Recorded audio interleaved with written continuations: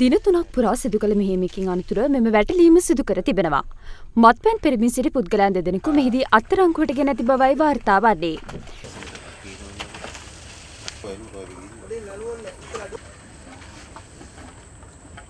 වැටලීම අතරතුර සැක්කරුවක පසුපස ලුහු බඳින විට සුරාපුද විශේෂ මෙහෙයුම් එකගේ නිලධාරියෙකු උණු කෝඩා වලකට වැටි පිලිස්සීමේ රාග මූලික රෝහලේ දැඩි සත්කාරයකයට ඇතුළත් කර තිබෙනවා. මේදී රුපියල් ලක්ෂ විස්සකට අධික ගෝඩා ප්‍රමාණයක් සමග ස්ප්‍රීතු බෝතල් දෙදාහක් ගෝඩා ලීට අටදාහක් ඇතුළු උපකරන රැසක් සුරාබදුවකගේ නිලධාරින් විසින් සිය භාරයට ගෙන ඇති බවයි වාර්තා වන්නේ. අදාළ සැකකරුවන් මීගමු මහේස්ත්‍රාත් අධිකරණයට අධිදිරිපත් කිරීමට නියමිතයි.